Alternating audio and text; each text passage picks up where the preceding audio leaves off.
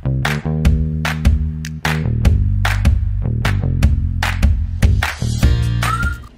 mummies! This is Nikki and welcome back to my channel. So for this video, I will be um, updating you regarding my baby. He just turned 4 months old, no, 4 month old nung May 11. Today is May 23 na. So medyo ilang araw tayong late. Sorry naman kasi nag, nag-move na kami pabalik dito sa Makati and um, may mga work and may mga pinuntahan kami. So hindi agad ako nakapag film nito.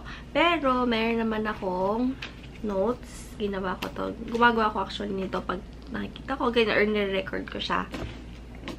So, yun. Let's start. So, 4 months na siya nung May 11. And, um, ano ba? Sa personality niya muna. So, sa personality niya, he's very um, calm and very mabait na baby. Very sweet.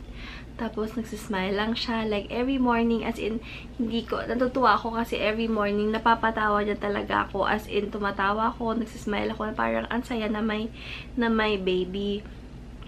Tapos, pag nagsasabi ako ng good morning, baby, good morning, Miko, ganyan, sabi niya, good, parang, good morning, mama.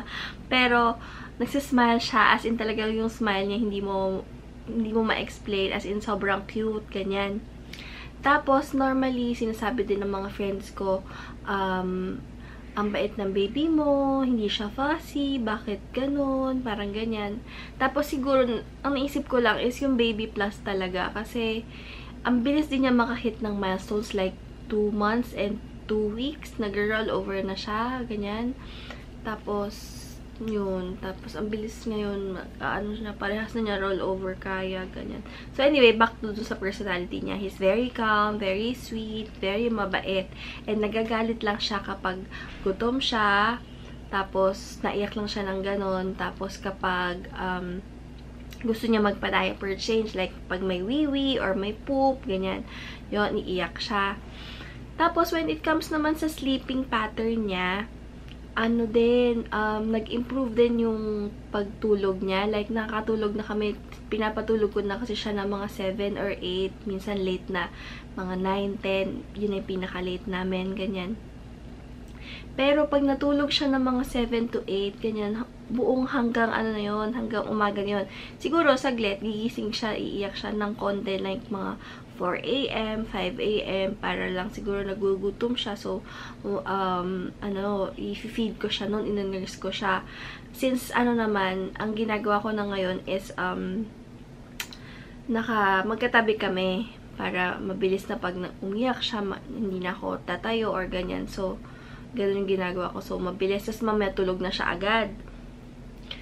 And, yun, diretso na yun. Tapos gigising na siya minsan 8 or 9 a.m. Ganyan. Minsan nga sabi ko, gising ka na. Kasi parang ako na yun naiinip. Ganyan. So, ayun, isa yun. Kasi nag-improve talaga yung pag yung pag-sleep niya ng matagal. As in, dati, siguro 6 hours. Ngayon talagang matagal na. Ganyan, like 8. Ganyan, may ganun na. Tapos, ano pa ba? Uh, lagi pa rin siyang nakahiga. La, pag, pag, pag siya, like sa gabi, ano siya, nakahiga siya, like yung ulo niya yung naka-flat dun sa bed. Yung higa, normal higa natin. Pero kasi, nung baby siya, lagi siya naka-side lying, ganon, gusto, gusto niya yung side lying. Buti ngayon, ano na siya, um, nakapag, yung nakapag-transition na siya sa normal na higa ng baby, ng tao, ganyan. So, yon Tapos, pero pag nap time, minsan nakikita ko siya nadapa.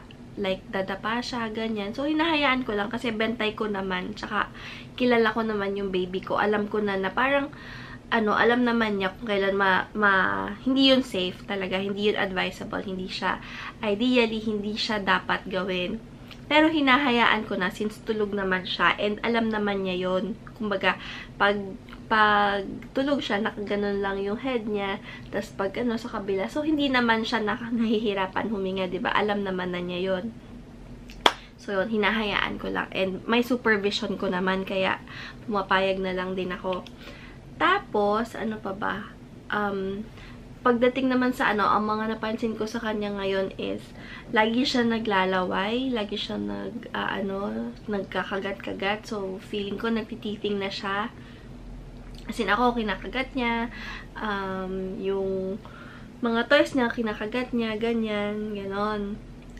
Tapos, ano pa ba?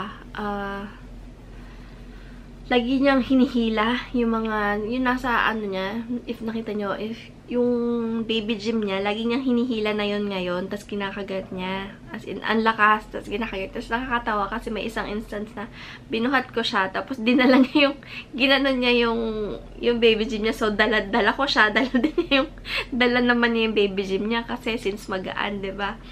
So, ayun.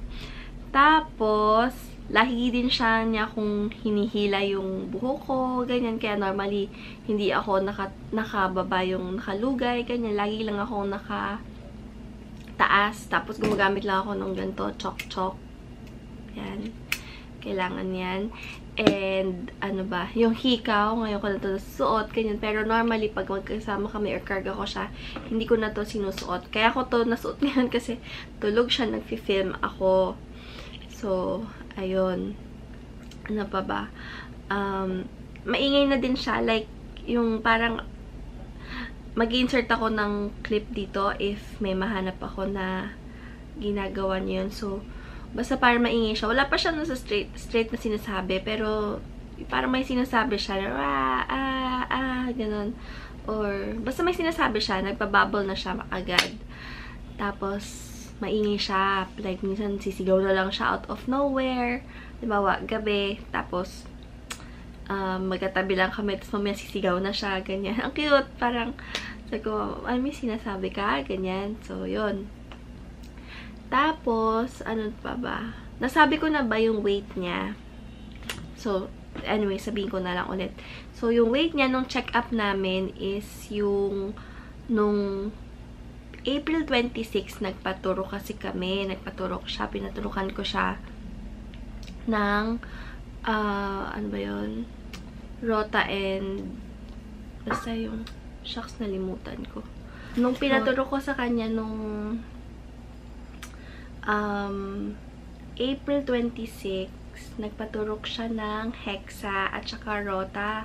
So, tinimbang siya noon sa clinic nung pedia is 7.4 siya kilograms. And then, yung height niya is 68. That was April 26. Eh ngayon, ano na siya? May 23 na. So, hindi ko na alam kung anong weight niya. Siguro more than, mabigat siguro mga 8 point something na yan ngayon. And, yung yung height naman niya is almost papunta na siya sa 70 centimeters, ganyan. So, big baby siya talaga. If makikita nyo naman dun sa video na gagawin ko. Balik ngayon pala gumagawa na ako ng um, this one is yung update and then ginagawa ko pa siya ng video na yung mga uh, iba't ibang video niya during his 4 months, ganyan. Para may nalulok back ako eventually pag malaki na siya. Sa, sa makikita niya na, ayan ka, nung 4 months ka, ganyan. So, ayun. Tapos, ano pa ba? Ano ba yan? Yung ipit ko. Ang gulo pala. Yun nga, natititing na siya, ganyan. Tapos, napansin ko ngayon, yung, ano niya, yung, yung pagkain niya, yung pag, nurse niya sa amin, since exclusively breastfeeding pa rin naman kami ni baby, ano, hindi na ganun kamayat-maya. Like, hindi siya mayat-maya. Matagal lang, isang kain lang. Parang, pag binibilang ko, siguro ilan lang. Like, hindi siya mayat-maya na every 4 hours. Hindi na siya ganun. Minsan, matagal eh. Hindi siya agad, hindi siya agad nag-ask na gusto niya agad magdede, ganyan. Yon Tapos napansin ko din, isa pa is yung pag-poop niya, hindi rin ganun kadami. Pero okay lang naman kasi hindi naman siya gumagaan or bumababa yung timbang niya. Parang sabi kasi nabasa ko is um, lumalaki na yung tummy nila so mas na-absorb na nila ngayon and pag nag-nurse sila or pag nagdede sila is isang malakihang dede na lang and then parang tao na hindi na agad nagugutom, ganyan. So, na-absorb na nila, na-digest na nila, ganyan. Tapos, yung pag-poop nila, yon minsan, one day, two days siyang hindi pupoop, and then the next day pupoop siya. So, yun, kinakabahan ako nung una. Pero nung research ko, okay lang naman since breastfeeding and hindi naman tumitigas yung tiyan niya. That's normal. Okay lang daw yun. Nagka-transition na kasi. Nagkakaroon na nga ng transition yung baby. So, ayun. Tapos, ano pa ba? Um, pagdating naman sa, ano niya, sa mga clothes niya, ang suot na niya ngayon is 4 months siya, ba diba? Mga 4, bago pa siya mag 4 months, ano, mga pang 6 months na yung sinusuot niya. Gano'n na yung mga sinusuot niya. Tapos, ano pa ba, um, lagi siyang niloloko na na crop top baby. Kasi, pag, pag tinaas niya yung kaway niya, nagka-crop top na yung yung mga damit niya. So, sabi ko, puro sando na lang. Sige, bibili kita ng puro sando. So, ayun, hinihintay ko lang yung, yung isang package, tapos gagawan ko na sila ng video.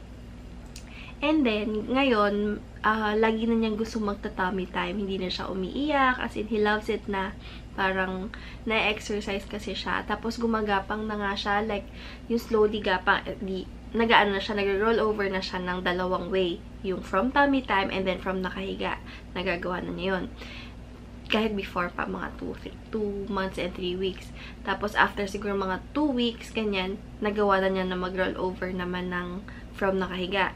And then ngayon, parang after ilang days lang nun, ang ginagawa naman niya is yung um, gumagapang siya, like, nakadapa siya, ganyan. Tapos, yung legs niya, kita mo talaga na nagpipilit gumapang. So, kaya na niya, like, matagal lang, pero nakaka-move siya from, from one point to that point, ganyan, nagagawa na niya yon So, babantayin na siya talaga. Or minsan, nilalagyan ko siya ng harang para dun lang siya yun, ang bilis. Tapos napapansin ko nga, ang bilis niya makahit ng mga milestones. Kaya normally, hindi pa naman agad yon Pero feeling ko, baka pwede dahil sa baby ko or pwedeng dahil dun sa baby plus. So, ayun, mukhang maganda talaga yung baby plus. Yun. Tapos ngayon, no anong ano pala, nung nasa, nasa Quezon pa kami, ang ginagawa ko, since lagi na nga siya naka-flat on bed, ganyan, tapos, pag nag-nurse siya, ganyan, para lang hindi siya ma-aspirate or walang magka-acid reflux, ganyan. Um, binilhan ko siya nung, actually dati pa, binilhan ko siya nung wedge na pillow, yung parang medyo naka-angle ng siguro 45 degrees, ganyan, or 35, ganyan. Um, I'll try to insert a picture dito nung pillow na yun. Pero maganda siya kasi naka-elevate ng konti yung baby mo. So, ayun. Tapos, um, ano pa ba? Mahilig na siya mag-grab. Grab ng buhok ko, grab ng, ng hikaw ko, lahat. As in, kaya nga ito, hindi ko na to normally sinusuot. Relo, hindi rin ako susuot. Tapos, lagi kong hindi na sinusuot tong earrings ko. Tapos, yun. Tapos, isa pa napapansin ko, bawal tayo magpahaba ng nails. Bawal na mag mag earrings kasi ang tendency hihilahin nila yan. Tapos, yung, yung relo ko, hindi din ako nag-relo kasi, um, ano to, so, parang nagagasgas sa kanya. So, ina-avoid ko na yon And yung mga bracelets, hindi na din. Tapos, um, ano pa ba? Yun, maingay na siya, ganyan. Nabanggit ko na yun. And, ano pa ba? Tapos na siguro dun sa baby, yun lang naman yung mga naalala kong okay na yun. Um, sa akin naman, sa mommy, update lang is, ba diba, nung 3 months postpartum ko, wala pa akong period. Nagkaroon na ako ngayon. Medyo TMI, pero, ayun, 4 months. So, parang, technically, parang mga 1 year bago ako nagkaroon ulit. Kasi, nalaman ko na pregnant ako May. Tapos, dumating yung period ko May din. So, ayun. Parang 1 year, so 12 months akong walang period. So, ngayon, meron na. So, back to normal na tayo. Hindi ko na, medyo napansin ko lang nung medyo dumating yung period ko. Medyo humina yung, yung milk supply ko. Pero, yun, inom na ako ng, inom ng, ng water. Tapos, yung mga pampalakas ko pa ng milk, ganyan, okay naman, nababawi. So, hindi naman siya namayat or nakakapag-store pa din ako ng milk, ganyan. So, ayun. Thank you for watching and I hope na-enjoy nyo tong video na to and sorry kung medyo mahaba. Next time, aralin ko na na medyo mas paikliin pa. So, yun. Thank you for watching and see you on my next video. Bye!